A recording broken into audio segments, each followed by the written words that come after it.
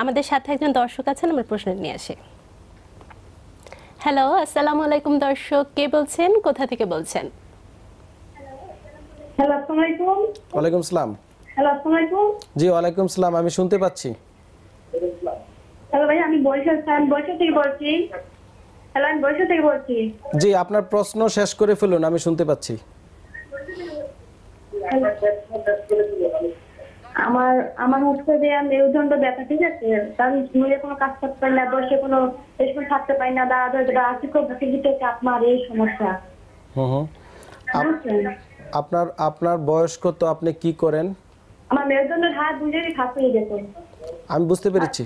আমার বয়স ছাব্বিশ বছর। হুম আপনি কি করেন?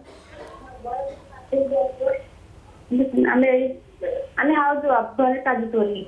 আচ্ছা আপনার কোমর ব্যথা কি শুধু কোমরেই থাকে নাকি পায়ে যায় পিঠে উঠে পেটের দিকে যায় নাকি শুধু কোমরেই ব্যথাটা থাকে?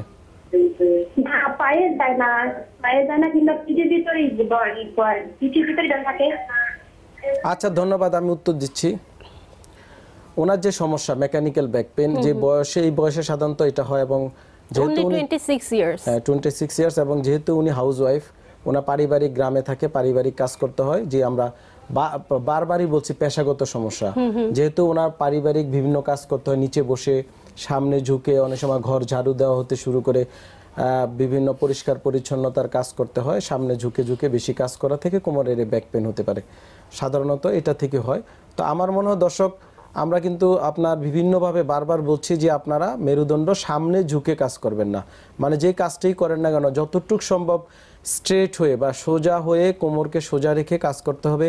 নিচে বসে কোনো কাজ করার ক্ষেত্রে ঝুঁকে না করে হাঁটু ভেঙে বসে কাজ করতে পারেন বা আপনার যে কোনো পারিবারিক কাজের ক্ষেত্রে যতটুক সম্ভব মেরুদণ্ড স্ট্রেট করে কাজ করতে হবে। আর যে কোনো কাজে মানে আপনি যখন যে কাজ করছেন, সাজেজ আপনি পাক, পাকের কাজ করছেন চুলার পাশে আছেন সেই ক্ষেত্রে আপনি একটানা বসে থাকবেন না বা একই অবস্থানে অন্তত এক দেড় দুই ঘণ্টার বেশি থাকবেন না। একটু উঠে যেতে হবে এই এই নিয়মগুলো যদি একটু মেনে চলেন, অনেকাংশেই কোমর ব্যথা থেকে মুক্ত থাকতে পারবেন আর যেহেতু আপনার এখন সমস্যা হচ্ছে, আপনি সম্ভব হলে নিকটস্থ কোনো ডাক্তারকে দেখে নিতে পারেন, অথবা কোমরে ব্যথানাশক মলম বা ক্রিম লাগিয়ে গরম সেক দিতে পারেন দশ বারো দিন আর এই যে ঈদ আসছে, আমরা বারবার বলছি, ঈদে যে বলছি, আলোচনা আমাদের যেটা করছি, একটু শুনেন, আপনার উপকারে।